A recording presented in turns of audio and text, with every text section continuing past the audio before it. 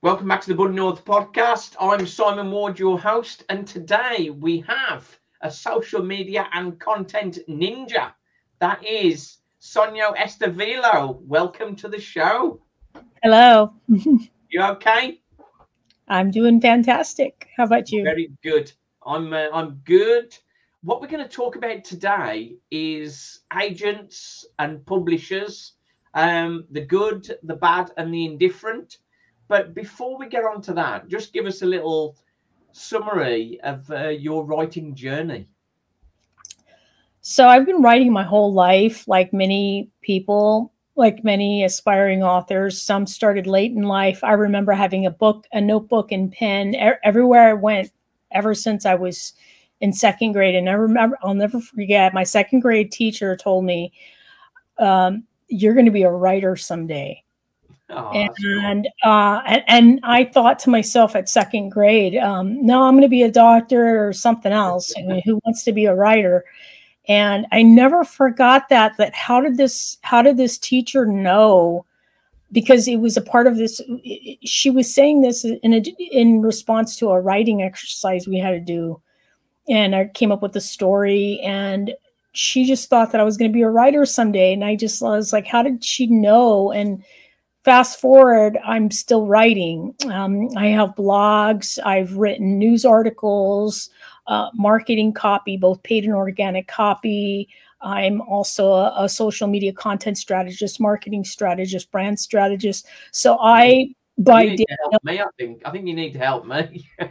well, I do know how to sell products and I do know how to market myself. I do know how to promote um, products, people, individuals, a, a brand. I'm a brand strategist. I have a master's degree in television, radio, and film, in addition to 22 certifications. I have 22 certifications in every social media platform you can possibly think of um, Facebook, Blueprint, Meta, Creative. Uh, you're busy. You're a busy lady, aren't you?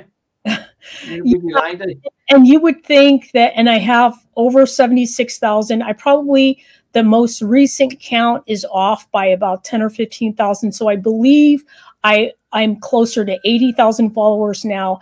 And you would think, I remember seeing a, a, somebody tweet, if I could only get to 2,000 followers, it was something low.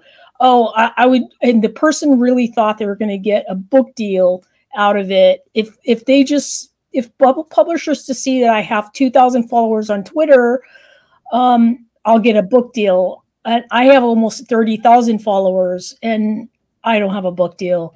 Um, so it does that is a big misnomer.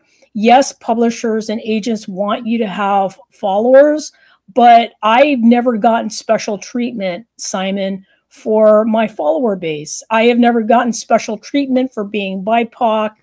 Um, you know, the, there's a big BIPOC movement. Oh, if if you're white, then forget it. That's not true.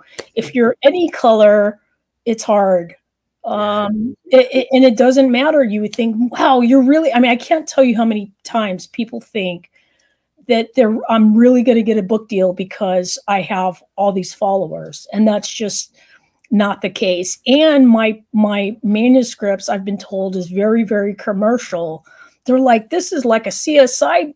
Um, have you seen Criminal Minds? This is this reminds me of Criminal Minds, or this reminds me of the girl with the dragon tattoo. One of my manuscripts are is like the girl with the dragon tattoo. It's a very feminist female serial killer theme. They're like, oh man, this is definitely going to get picked up. I mean, I I've had traditional publisher, traditionally published book authors say there is no way this book cannot get picked up.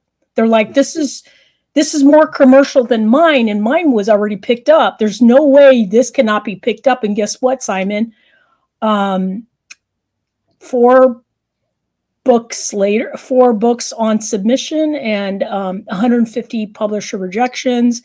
Uh, a, a, an agent that I had for five years, and we amicably amicably parted ways. I am still not published yet. I think the uh, I think a big message for all budding authors out there is getting an agent is is not always the uh, the the holy grail, as it were. Because no, good and bad, like um, like the song, there's good and bad in everyone, and isn't that? well, everywhere. Exactly, Simon. And you know what's interesting is that I found out after the fact that the agent had a kind of a bad reputation. And you know, shame on me for not seeing that before. And I, I consider myself a content ninja, and I didn't because I wasn't looking at the time that I was represented. I wasn't googling them to see if they were on Absolute Write. I don't know if you know the the the thread. There's two threads that every author should aspiring author should look at Absolute Write and um, agent beware or writers beware. Absolute Write and uh, right beware. Where so Victoria Strauss is a veteran in this industry, and she does Absolute Write, and or I'm sorry, she does writers beware, and she knew of the agent that represented me and knew of the bad book deals. And one thing I could say is like, if an agent has a bad reputation, the chances of editorial acquisition teams taking their emails and their queries and their pitches seriously is very low. So mm-hmm. even if Simon Ward has a very good manuscript and it's ah, really, really yes, good, yes, like your book is super super marketable and good. The agent um that with the bad reputation is not going to take simon seriously because of the agencies as a whole. Perception yeah. Perception so it's it, it is guilt by association.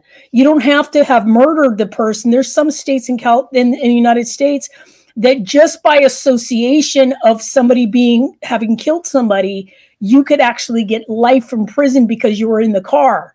So it is the same concept and I didn't know this until later. So so out of the 150 rejections, could one of them have said yes if I was represented by Writers House, if I was represented by um, Donald Maass, or somebody huge, yeah. To be honest, I think I think somebody would have said yes. It's possible. The uh, Absolute Write uh, and uh, writers beware. Where do we find those? Are they on Twitter or they're online? Online. So absolute writer. Absolute Write. Absolute Write. Mm-hmm. Uh, dot com. Yeah. yeah.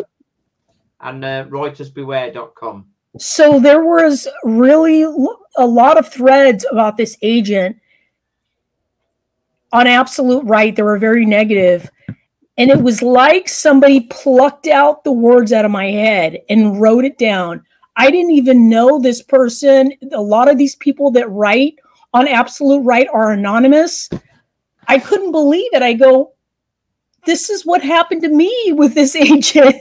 And then this person said you know the person the agent was very condescending, very rude.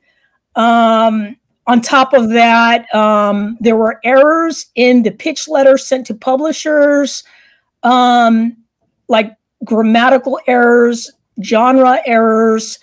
Um, in my particular, then did you did you have a meeting with the agent, or is it all just online stuff? So some agencies will allow you to, some agents will actually do face to face, and a lot of agents do by phone, by cell phone. You're, you know, if you, especially if you sell or if you're getting a deal, um, you know, this person that I, I read a, a, the negative review from an anonymous person I don't even know, they said that they are now with a really good agent and they ate that really good agent got them a, a big five book deal and there was a huge difference in communication between the agency that repped me and them and the new and that her, their new agent. Their new agent gave them her their cell. They're on text message base. They're yeah. very communicative. It's a so, huge difference yeah so I think it, it would it, with that in mind, it would be a big red flag if uh, when you have a meeting with them, they're not sharing their details. Ever. And for me, That's the me, problem we- that I had with this agent. As a matter of fact, out of the 150, I gotta I gotta tell you, Simon, if you get a rejection from Random House, if you get a rejection from Putnam, if you get a rejection from um, from one of the Amazon imprints like late like uh, Thomas and Mercer and whatnot. Thomas and Mercer is actually an agency from a, a publisher imprint from um, Amazon, and you cannot go through them without an agent. So they do uh, not like that. The UK ones are the same. They want you to have an agent before you can uh, be represented. right. So long story short, I was Simon. If Simon gets rejected, it is my responsibility as the agent to tell Simon. You when you ask me, can you can you tell me, um, Sonyo, why why did um, Thomas and Mercer reject us? Um, imagine somebody saying no. I'm not going to tell you. So basically, not really the- on your, agent did. on your team, then, are they? The, the whole point of an agent is to have someone on your side, on your team. Right. They're They're supposed to tell you. you everything, Simon. They're supposed to tell you, Simon. You know, they they um they thought that your your manuscript was too literary um for their imprints. Um, or they, they they thought that there was too many characters, and then and then we we we should pause and say, okay, well, what is our new, strategy?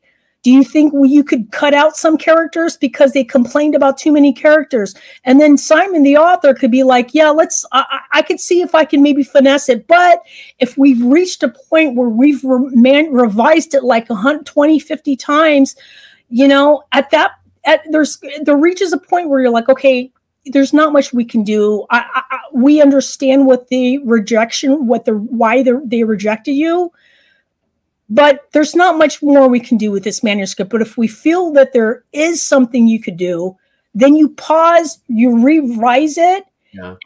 based on the notes of the publishers and why they rejected you, and then we then we take another round, at another pass at new a new list of publishers because there are hundreds and hundreds of publishers under the five big five imprint big five publishers. So that's the way you're supposed to do it. And in my case, I never got, and I asked them over and over again, can you please share what the reject, why they rejected us, why they rejected all my four manuscripts? They refused to share the reason why. The publish, the the agent did didn't didn't send me the, any of the documents.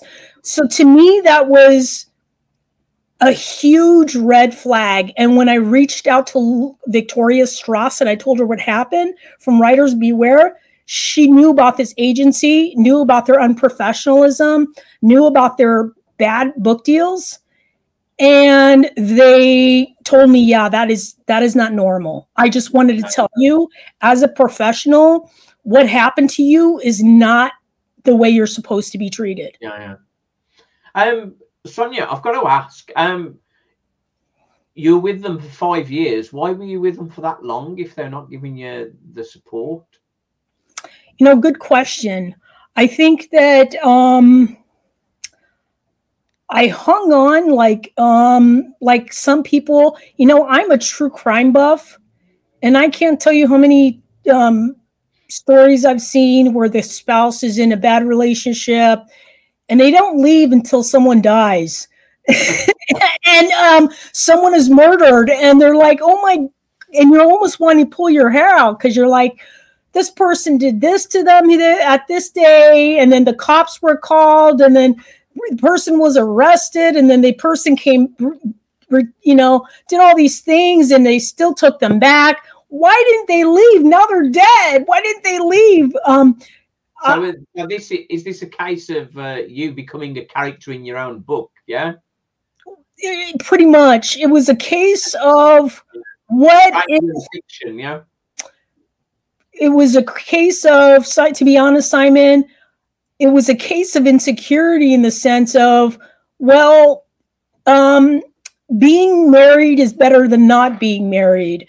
And that's just not the case. Like, well, I don't want to be single. I don't want to be out there single again. I have to start all over again at the dating apps. I have to, I have to put myself out there and put a profile up there. I don't even want to do that, you know. And I got just, I'll just, I'm comfortable, you know. And in as an aspiring author, there's always this fear of, oh well, if I, I'd, I'd, I'd rather have an agent than not have an agent at all, even if the person is was abused, The person was actually um, wasn't physically abusive, obviously, but the person was yeah, torture, yeah. Manipulative, manipulative, gaslighting, and it's funny because the person who wrote the anonymous review on Absolute Write also complained that this agent was very manipulative and did a lot of gaslighting. So my whole point is not every agent is bad like that. Yeah. But um, I will say that eh, I wouldn't say bad. They got they had good. They did they did sell to Big Five, but most of their public most of their book deals. This is a red flag, Simon. Most of their book deals were book deals that the that the that Simon could have gotten on his own. Yeah. So, in other words, there are tons of not a lot, but there are some publishers that take unsolicited manuscripts and a lot of these book deals that this agent was getting were from publishers that were already that you don't even you don't even you don't need an agent for it. Yeah. Did you uh, did you get published with some of those? Yeah. I did not. You did not. What did you do with you? Did you self publish in the end?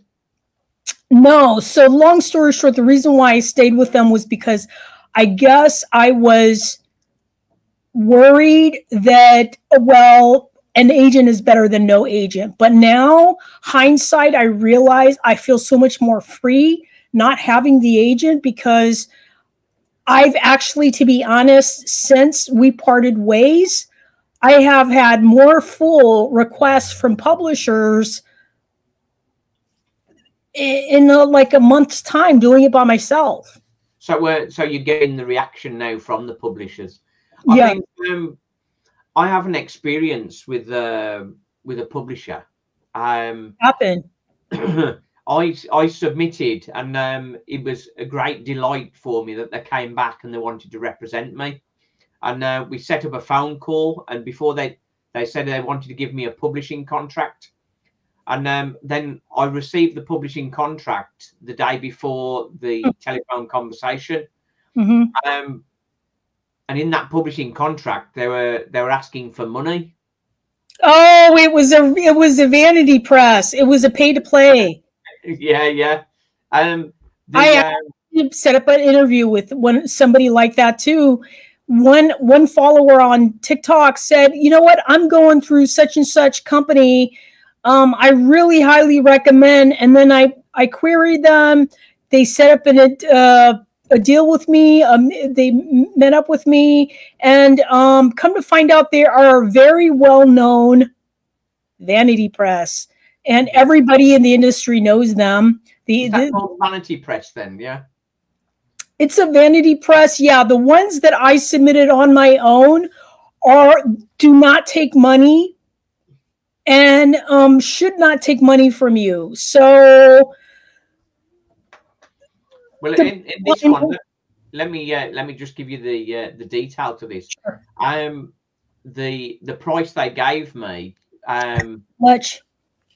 Um, five thousand seven hundred dollars. That's that's no, you know what they gave me. They they you know what they told me. This is just, dude, Simon. This is just for digital. This was your brace yourself. This was just to take Simon's book and put it on a digital platform. That's not even to print out your book, right? I can do that myself.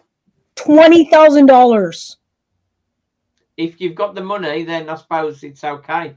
But um, for me, I asked the question. Well, this was this was for a small project of mine. It's a children's book, just nine hundred words. Yeah. Um, I said, well, would that be thousand dollars? How are you worried? I, I said, would that be the same price for a 60,000 word novel? And they said it's fixed pricing. So sixty thousand word novel is five thousand seven hundred, but sells a nine hundred word ch- children's book. That just doesn't make any sense. That is when I had the co- when I had the call, the um the other person on the call didn't show their face, even though it was a video call. Um, so that was a, a fl- another red flag as well. I like to see people's face if I'm dealing with people, and that's it. We have got this show that's going out on uh, podcast, but um, I like to see people's face. I like to see who I'm talking to. It's um, it's a whole different world, isn't it? We've, I do. um, I like that too.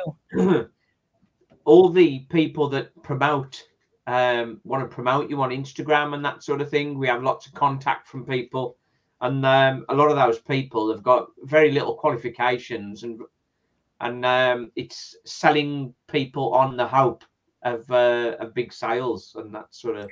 It's a difficult one. It? lot of i agree there you got to be very careful because i get a lot of digital marketers that approach me and just simply because no i don't have a million followers but you know 70 80000 followers is still quite a lot for an average account so i mean i get a lot of people constantly hitting me up and asking me where my book is and everything else um it was interesting i actually even got one legitimate um, newspaper uh, digital newspaper I think they were affiliated. I'm not going to say the LA Times, but they were affiliated one with one of the bigger newspapers, and they asked me where was my book. I, they wanted to write a whole article about me, and that's the thing. It's like um, if these publishers would give me a chance and get and, and publish my book, I already have people that want to read it Yeah. um and and do pre- and do press releases for me and everything else like that Right. but with um with with how you've had such a torture there, I think obviously you've got books now out for publisher review, Right. traditionally published. Um, small yeah yeah, from my point of view, from my point of view, I would have just taken that and independently published by now. You're you're you're absolutely right about that. There's a lot of people that would not have suffered as long as i have. Um y- you know a lot of people they're like you've got a lot of patience because you know yeah wh- why stay in a relationship where the person is neglecting you for 5 years? And Yeah. and, and maybe they're guilt by association they're they're they're not so good relationships with acquisition editors because let's put it this way i mean doesn't that make sense to you that uh, a an literary agent with good relationships with acquisition editors are probably going to get bumped up? There it's a psychological thing. Their books that they present this other book might be trash compared to simon's book Yeah. but because this other person is associated with a big name literary agent, Yeah. I can't see how that does not sway their decision. Well, I think we see we see a lot of uh, traditionally published books, and we read traditionally published books, and um, the quality is not that great. Not. It is not good at all. I think it all has to do with they were lucky to have gotten someone who is buddy buddy with the editorial team. Yeah. and and and a lot of people don't talk about that they say oh no and i've heard i've heard this in fa- in facebook groups that are that for authors and aspiring authors they go no no no wait a minute one person was like oh i used to work with for work for a publishing company and that's not necessarily true we read they they typically read all books or all queries not not no they don't. Um based on the, you know the anonymous letter that I the anonymous bad review that I talked about? In the anonymous bad review she confessed. She said I actually spoke with legitimate industry pros other agents and other editorial teams that confessed that they do not take this particular agency seriously. So when they see when, so when they see um, the agent's name pop up in their inbox, they ignore it. They don't even read it. yeah. So, So, I think, so I think the the message the message that we'll leave people with is um, the to get an agent is a good thing, but making Yeah. sure that the the relationship with that agent and the feedback you're getting from that agent is right. It's uh, as you say with a marriage, if um if everything looks good and then there's big red flags every day and um so one partner's disappearing for hours on end with no Yeah. explanation Yeah. you- wouldn't stay in that relationship you wouldn't follow Right. a marriage Simon, a hundred percent. You what what you asked me, why did you stay so long? Bottom line, if I were to talk to myself five years ago, I would have given it one year or two years max, and I would have said, okay, that's it. Um, Yeah. you you have to gauge um, based on results.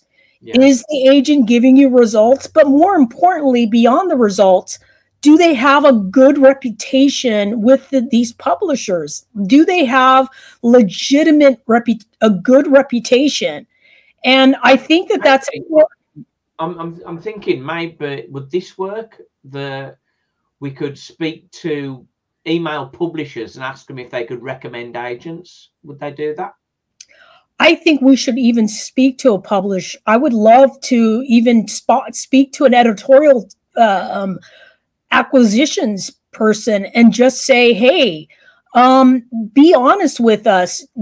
Doesn't doesn't it does it or does it not sway your opinion if if the team if if somebody has a good contact good relationship with you and not even necessarily a good or bad re- reputation but do they have a do you have a better relationship with certain agents than you do with others I, I- think they, would- always. I think they would. Um, they would probably say no to that. But the reality, you and I both know that the reality is different. I It's- think asking the asking the question of, "I'm looking to get an agent. Have you got any recommendations?" yeah That would perhaps be a different question. i'd But like i'd like that a lot Mhm. whether we get a direct answer to that or not, I don't know. Maybe I need to uh, get a publishing house on here on the channel and ask them that. and i'm not direct. I, I, like i said i'm not i'm not i'm not saying negative something negative about every agent that's out there i mean i think that there are some i i, I actually worked with literary agencies and tv studios greenlighting screenplays and manuscripts. So i've done that myself but i've been on the other end. Um, i took pitches at the la writer conference. I worked with Brian Klems. He used to be a former columnist and published uh, columnist and editor at writers digest. Um, and I worked as an editor for a writing day workshop. It's a national hub that manages all these conferences, both na- both in person and nationwide. So I've worked uh, on that end of things. Um, so I have I have been on the end, and I've actually been asked numerous times, "Will you be an agent for our agency?" And I turned it down Yeah. um, because uh, I learned by working with um, at literary agencies that it was a lot of work and most and you don't get paid um, an hourly rate. You are paid by commission only. You are, paid Yeah. by That's book a tough, sales. that- that's a tough gig. That's a tough gig, isn't it? So Um, I Sonyo, can do it. Yeah. Sonyo, I think that's uh, that's been excellent, and I think the information that you've shared is going to be a big help to a lot of our listeners, and Yeah. a lot of our viewers. So uh, thank you very much for that. We will get you back on the show when your book is published and you have a publisher. So bottom line is if you I think that my message is you just um, no agent is sometimes better than having one. Yeah, and I think I think my advice would be if if you're having problems getting through to publishers and getting through to agents, self-publish, put your book out there I agree with that. and, and see where you go with that. But um right then we're gonna leave that there for now. And uh so we'll speak to you again. But uh I'll be in touch and uh we'll definitely uh talk. Nice one. Thank you, Sonyo. Great. Thank Thanks for coming on. Cheers. Thank you. Bye.